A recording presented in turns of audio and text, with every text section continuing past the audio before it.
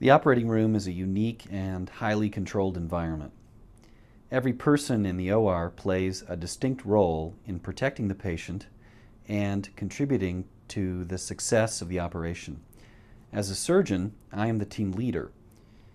We use the very latest technologies to assist us, from global positioning systems that pinpoint the exact location of a tumor to sophisticated operating microscopes that allow us to see and work on the delicate structures of the brain with precision and accuracy. Academic medical centers like Vanderbilt are at the forefront of neurosurgery. We perform more surgeries than any hospital in the region, over 400 major brain tumor operations each year. And patients with rare and difficult cases are usually referred to us. This experience makes us unique.